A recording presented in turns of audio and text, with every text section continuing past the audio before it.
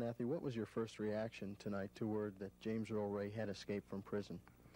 Well, it merely confirmed the belief that I've had all along, and that is that James Earl Ray was not alone in the killing of Dr. King, that it was a part of a conspiracy, and I do not believe that James Earl Ray has escaped.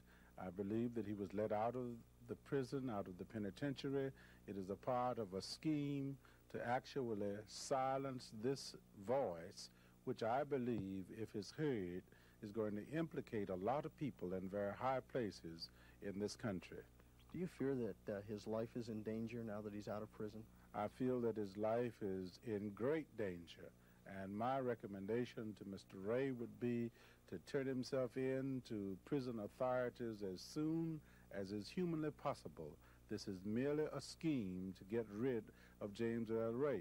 And I call upon President Carter to intercede at once within this case because poor people and black people and good thinking Americans are not going to be misled in believing that James Earl Ray could have escaped from a maximum security institution. He was let out, and this is merely another design to silence individuals as the killer of the uh, individual who killed uh, the President of the United States, John Fitzgerald Kennedy. And we want to get to the truth of this matter, and we're not going to ever get to the truth of it unless the President of the United States, Mr. Carter, really take a firm stand and, and see to it that the governor moves to see that justice is done.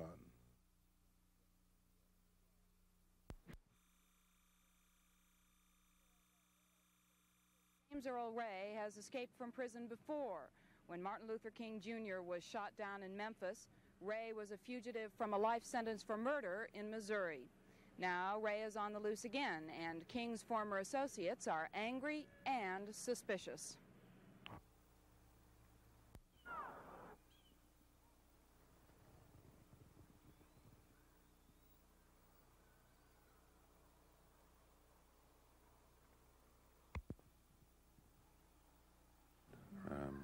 I think he's not interested in me. I think he'd be interested in getting away. Uh, this is a man who was an escapee when he shot Dr. King. He had tried to escape from Missouri State Penitentiary. He tried to escape from this penitentiary in Tennessee at least twice before that we know of. So it's incredible to me that the authorities would have allowed him relatively free play of this institution.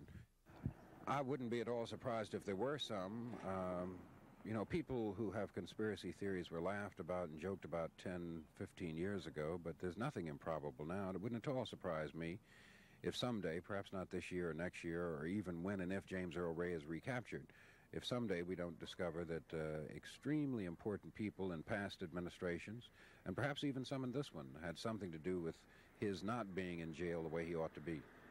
And what might their motive be? The motive to get him out of there, to uh, put him in some place where he can't talk, or to put him in a, in a condition where he can't talk, which is dead.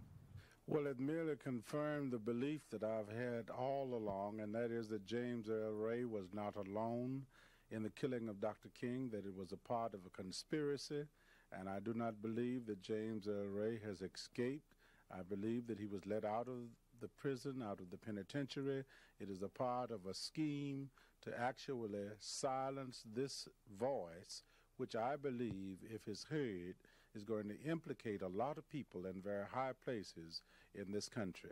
Calling you, have you uh, been getting calls from other people who are associated with Dr. King? They're talking about this, speculating. Be willing to talk for the first time and this escape?